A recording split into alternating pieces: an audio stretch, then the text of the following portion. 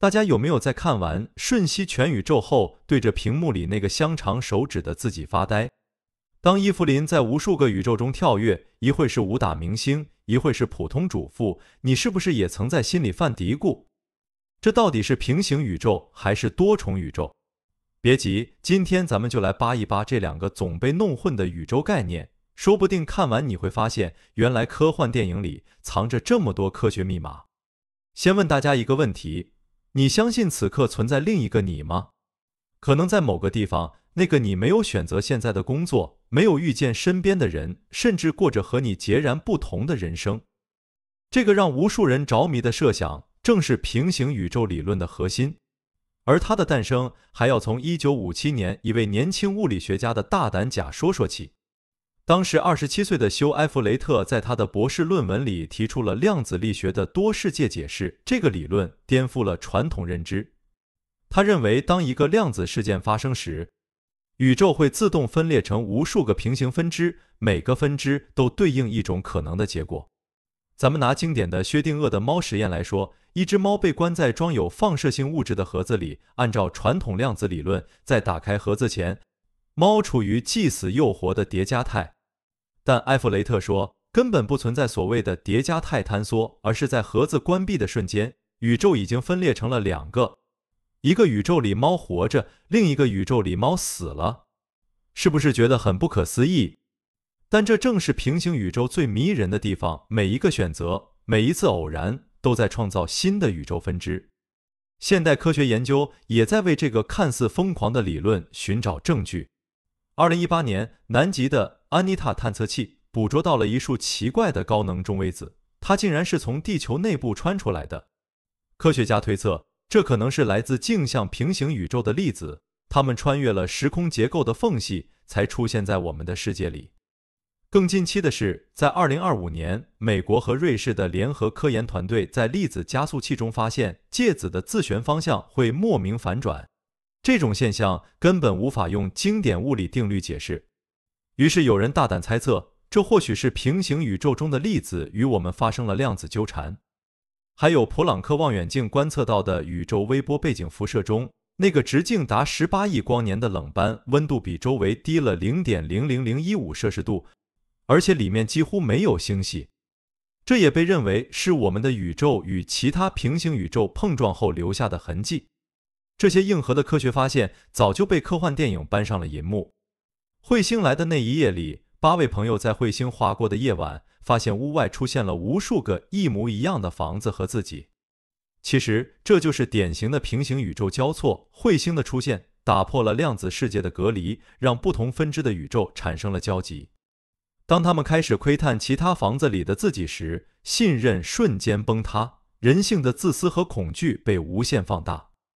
这部没有华丽特效的小成本电影，却把平行宇宙的逻辑讲得比任何大片都透彻。还有源代码里，主角科尔特一次次进入遇难者的身体，在八分钟里寻找爆炸案凶手。很多人以为这只是虚拟模拟，但从平行宇宙的角度看，每一次重置其实都是进入了一个全新的平行时空。最后，科尔特没有回到现实，而是在那个八分钟宇宙里和爱人相守。这恰恰印证了埃弗雷特的理论：每个宇宙分支都是真实存在的，没有虚拟与现实之分。而蝴蝶效应更像是一场关于平行宇宙的警示。男主试图通过改变过去弥补遗憾，却每次都创造出更糟糕的平行现实。这告诉我们，或许当下这个充满遗憾的宇宙已经是所有可能性中最好的一个。但当我们把目光从微观的量子世界拉到整个宇宙的诞生之初，另一个更宏大的概念出现了，这就是多重宇宙。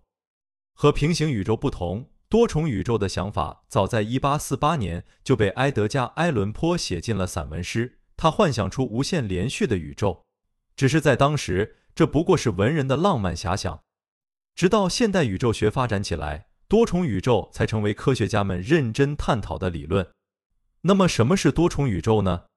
简单说，它指的是除了我们能观测到的宇宙之外，还存在无数个独立的宇宙，就像一张巨大的画布上布满了密密麻麻的肥皂泡，每个泡泡都是一个宇宙，我们的宇宙只是其中普通的一个。这个理论的核心支撑来自暴胀宇宙学。科学家认为，在大爆炸后的十的负三十五次方秒，宇宙经历了一场急速膨胀，也就是暴胀。而这种暴胀并不是一次性的，时空的某些区域会一直膨胀下去，不断产生新的泡泡宇宙。这个过程会无限持续，就像吹泡泡机，永远停不下来。斯坦福大学的安德烈·林德教授，也就是暴胀宇宙学的创始人之一，曾用一个很形象的比喻解释多重宇宙，把宇宙想象成一颗彩色足球，每一块多边形都是一个宇宙，有蓝色、红色、绿色等等。如果我们生活在蓝色宇宙里，只会看到它在不断变大，永远不会知道还有其他颜色的宇宙存在。更神奇的是，每个泡泡宇宙的物理定律可能完全不同。在有的宇宙里，引力可能比我们这里强一百倍，导致星星刚形成就坍塌；有的宇宙里可能根本没有电子，也就不会有原子和分子，更别说生命了。除了暴胀理论，弦理论也为多重宇宙提供了另一种可能。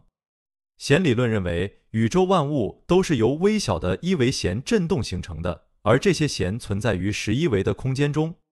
我们之所以只能感受到三维空间，是因为其他维度都被紧紧压缩了。就像一根头发，远看是一维的线，近看才发现它有粗细这样的额外维度。而这些额外维度的不同压缩方式，就会形成不同的宇宙。比如，有的维度压缩得紧一些，对应的宇宙里光速可能更快；有的维度舒展一点，那里的物理常数就和我们完全不同。这就好比同样的琴弦按在不同的位置。会弹出截然不同的音符。有趣的是，有科学家还提出，我们观测到的黑洞可能就是通往其他多重宇宙的门户。中国科学院的邓鹤龄博士所在的团队就研究过这样的模型：当物质被吸入黑洞后，并不会消失，而是会进入一个全新的宇宙。那个宇宙的物理规则可能和我们这里毫无关联。不过，大家可别想着去黑洞探险，林德教授早就泼了冷水。就算你能以超光速飞行抵达两个宇宙的边界时，也会立刻死亡，因为构成你身体的粒子在另一个宇宙里可能根本不存在。在科幻电影里，多重宇宙的呈现往往更具史诗感。超时空接触中，朱迪福斯特饰演的科学家艾丽穿越时空后见到的那些超越物理定律的景象，其实就是对多重宇宙的诗意表达。在我们的宇宙之外，存在着完全不同的现实维度。而另一个地球里突然出现的地球二号，更像是多重宇宙中一个和我们高度相似的泡泡。女主角罗达希望通过前往地球二号弥补过错，这个设定恰恰戳中了多重宇宙的核心魅力。它让我们相信，或许在某个宇宙里，所有的遗憾都能被弥补。讲到这里，可能有朋友已经晕了。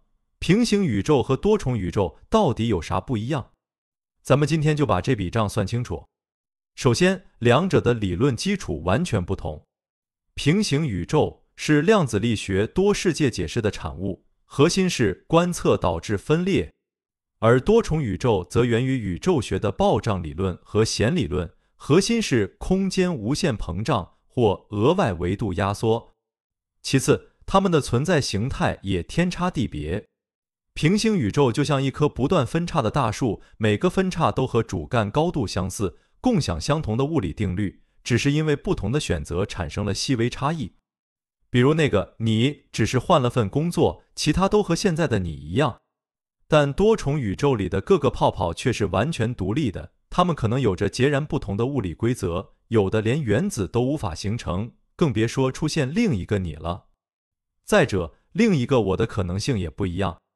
在平行宇宙里，另一个我是必然存在的。每一次你犹豫向左走还是向右走，宇宙就会分裂出两个你，分别走向不同的方向。但在多重宇宙里，另一个我几乎是不可能的，因为那里的物理定律可能完全不同，甚至连生命都无法诞生，更别说和你一模一样的人了。邓贺龄博士就明确说过，科幻电影里那些跨宇宙碰面的情节，在科学理论里根本不可能发生。当然，他们也有一个最大的共同点，到目前为止都还只是科学假说，没有任何直接证据能证明他们的存在。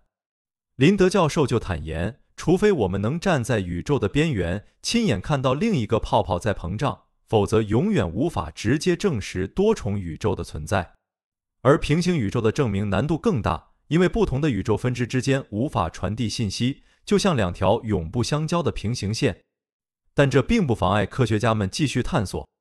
诺贝尔物理学奖得主安东·蔡林格就提出，利用量子隐形传态的原理，未来或许能实现跨宇宙的信息传输。